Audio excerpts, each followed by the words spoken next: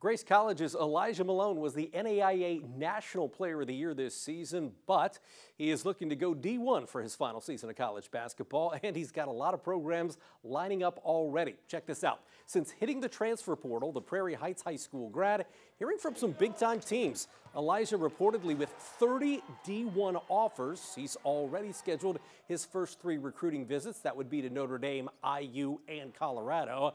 That trip to Bloomington set for Thursday, April 18th. The 6'10 big man scoring over 1,900 points with 1,000 career rebounds at Grace. The former Highlight Zone star winning the Bevo Francis Award this past season. That goes to the top player in small college basketball.